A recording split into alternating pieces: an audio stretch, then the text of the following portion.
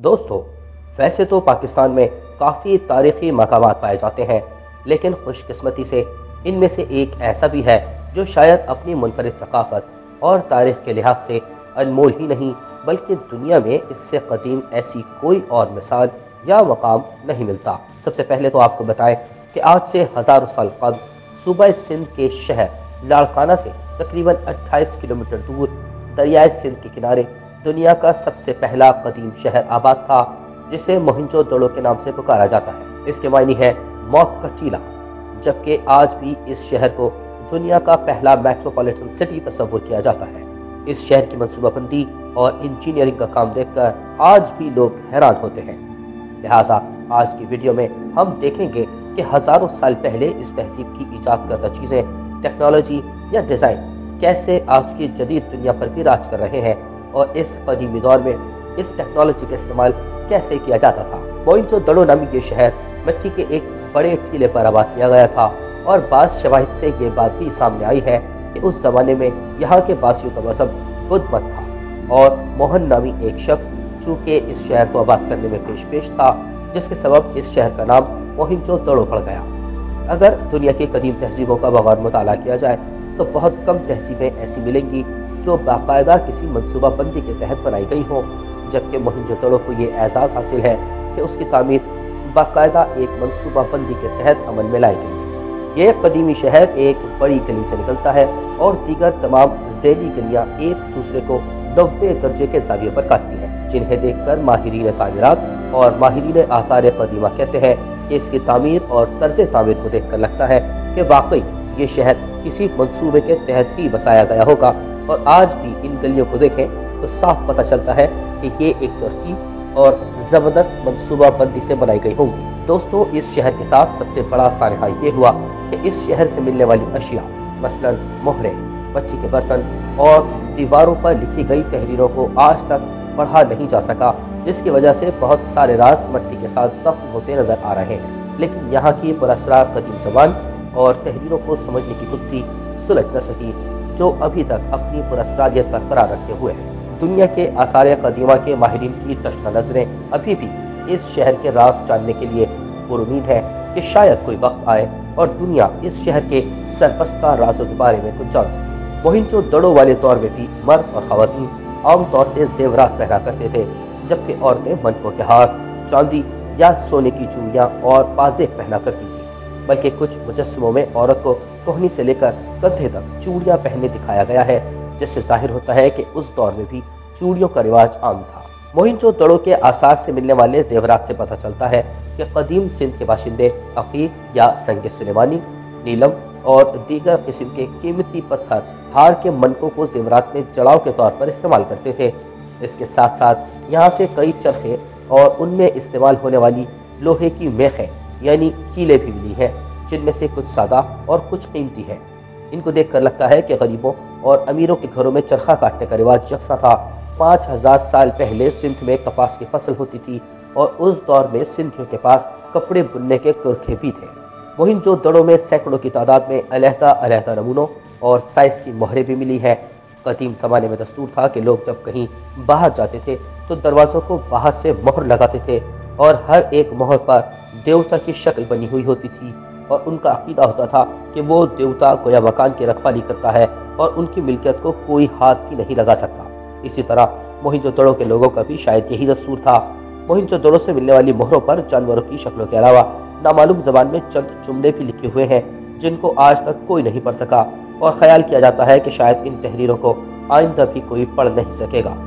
लेकिन देखने में ये लिखाई इंतहाई साफ़ सुथरी और खूबसूरत नज़र आती है, जिससे लगता है कि यहाँ पर फन तहरीर की अच्छी खासी तरक्की हुई थी। सर जॉन मॉशल ने कयास आरई की कि मोहिंजो दड़ों की तहजीब इससे ज़्यादा कदीम हो सकती है। इसके अलावा यहाँ से संग सुलेमान और दीगर पत्थरों से बने हुए शतरंज और छक्के मिले हैं, जो आजकल के छक्कों की तरह लंबे तो नहीं, लेकिन मकब शक्ल के ज़रूर हैं, जिससे ज़ाहिर होता है कि लोगों की फुर्सत में तफरी का सामान ये खेल थे। जबकि इन खिलौनों से ये भी मालूम होता है कि उस वक्त के लोगों को अपने बच्चों की तफरी की भी बड़ी फ़िक्र हुआ करती थी। लिहाजा वो अपने बच्चों का दिल बहलाने के लिए इंतहाई शानदार और आज के दौर की तरह के खिलौने बनाते थे। ये खिलौने बैलों और घोड़ों की शक्ल के हैं, जिसमें से एक बैल को दुम से खींचा जाता है तो वो अपनी गर्दन हिलाता है, जबकि उनमें से एक हाथी की शक्ल का है और एक पकाई हुई मट्टी की बनी हुई गाड़ी की शक्ल का है, जिसके साथ पहिए भी मौजूद है। सिर्फ़ यही नहीं बल्कि मोहिंजो दड़ों से चंद पत्थर और तांबे से बने भाले, कठार, तीर और कमाने भी मिली हैं, जबकि तलवार बनाने का रिवाज तो बहुत बात की बात है। इसलिए तलवारें वहाँ से नहीं मिली और इसी वजह से लगता है कि इस तहसीब में जंग को जदन नहीं होता था और लोग अमनो सुकून से ज़िंदगी गुजारते अगर खुराक की बात की जाए तो मोहित दड़ों से गंदुम और जौ के दाने मिले हैं अगर तिलों का एक दाना भी वहाँ से नहीं मिला, लेकिन लगता है कि वहाँ तिलों की फ़सल हुआ करती थी। उस वक्त अनाज पीसने के लिए जो चक्कियाँ इस्तेमाल की जाती थी, वो आज के दौर से खासी मुख्तलिफ़ थी और पहले इन चक्कियों के नमूने भी मुख्तलिफ़ हुआ करते थे और इसी किस्म की चक्कियाँ मोहिंजो दड़ों से बड़ी तादाद में मिली हैं। खुराक के अलावा अगर हम उनके लिबास की बात करें तो उस तहजीब में रहने वाले मर्दों का लिबास धोती और चादर था। वो चादर को दाएँ बाजू बगल के नीचे से गुजार कर बाएँ कंधे पर डालकर पहना करते थे, जबकि इसके खंडरात से बरामद होने वाले कुछ मुजस्मों को देखकर यूँ महसूस होता है, जैसे मर्दों ने धोती के बजाय एक ऐसी घुघरी पहनी हुई है, जिसे आजकल शहनाई वाले, यानी ढोल बजाने वाले पहना करते हैं। और कुछ मुजस्मे बिल्कुल बरहना है, और कुछ में लंगोट पहने हुए नज़र आते हैं। दोस्तों, इन सारी बातों और दरियाफ्तों से पता चलता है कि आज से हज़ारों बरस कबल यहाँ रहने वाली तहसीब एक अच्छी और खुशगवार ज़िंदगी गुजार रही थी, और उनकी ज़िंदगी में हर वो चीज़ शामिल थी, जो आज भी लोगों की ज़रूरत है। जबकि इस पर मजीद तहकीकत ताहाल जारी है और दुनिया भर के महक्कीन और माहरीन यहाँ से मिलने वाली चीज़ों का मुशाह कर रहे हैं। नित नए इनके शफात सामने आ रहे हैं। लिहाजा अगर इस ज़मीन में ये कहा जाए कि मोहिंजोदड़ो किसी हैरत कदे से कम नहीं है तो बेचाना होगा। ज़रूरत इस बात की है कि मोहिंजोदड़ो के इन आसार को महफूज बनाने के लिए हुकूमत मौसर इकदाम करे ताकि कदीमी तहसीब के हामिल इस शाहकार के आसार को महफूज बनाया जा सके। दोस्तों अब बात करते हैं बीस रुपए के नोट की, जो 200 का पड़ा। अगर आपने मोहिंजोदड़ो जाने का इरादा कर लिया है तो याद रखें कि जहाज़ या बस के टिकट के साथ साथ बीस रुपए का नोट भी साथ रखें। जरा जेब से बटवा निकालकर नोट के पुष्ट पर नज़र डालें तो यहाँ आपको मोहिंजो दड़ो के खंडरात का नक्श नज़र आएगा। जब सैर करते करते आप हम्माम के करीब पहुँचे तो बाएँ हाथ मुड़कर स्टोपा की तरफ़ रुक कर ले। बीस रुपए के नोट पर बना मंजर हकीकत में आपके सामने आ जाएगा। राहिब का मुजस्मा तो आपने पाकिस्तान के हर छोटे बड़े अजायब घर में देखा होगा, या कम अज कम जमाना तालब इल्म में निसाबी कुतुब में इसकी तस्वीर देखी होगी। लेकिन बहुत कम लोग जानते हैं कि इस मुजस्मे की असल कराची की नेशनल म्यूज़ियम की खुफिया तिजोरी में महफूज है, और यहाँ तक कि दौड़ के अजायब घर में भी इस मुजस्मे की प्लास्टर ऑफ़ पेरिस में बनी नकल देखने को मिलेगी। राहिब और रक्कासा के मुजस्मों का भी दिलचस्प किस्सा है। उरूज का जवाब कोई नहीं जानता कि इतनी तरक्की याफ्ता फलती फुलती तहजीब को जवाल कैसे आया। मोहिंजोदड़ो का शहर सात मरतबा उजड़ कर दोबारा बसा। कुछ लोग इसकी वजह दरियाए सिंध का सैलाब बताते हैं, जबकि कुछ बैरूनी हमला आवरों को मुरद इल्ज़ाम ठहराते हैं। लेकिन ये सब मानते हैं कि ढाई हज़ार साल पहले बसने वाला ये शहर पंद्रह सौ कबल मसीह में सफ़े हस्ती से मिट चुका था।